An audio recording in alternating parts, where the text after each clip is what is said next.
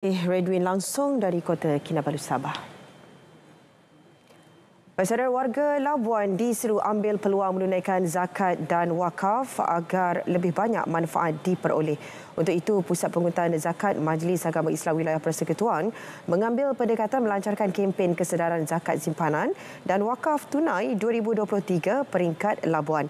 Ketua Pegawai Eksekutif PPZ Mawib Abdul Hakim Amir Osman berkata, hasil kutipan zakat simpanan di Labuan mencatat penurunan 1% iaitu RM669,500 pada 2022 berbanding tahun sebelumnya sebanyak RM676,745. Ia melibatkan kutipan zakat simpanan dan zakat kumpulan wang simpanan pekerja KWSP.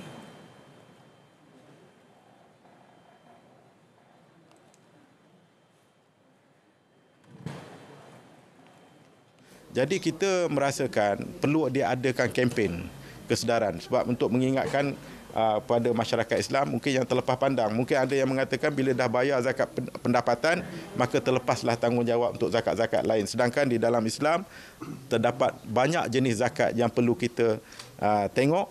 Satu zakat pendapatan. Yang kedua zakat simpanan zakat emas zakat perak. Kalau ada zakat saham zakat KWSP dan sebagainya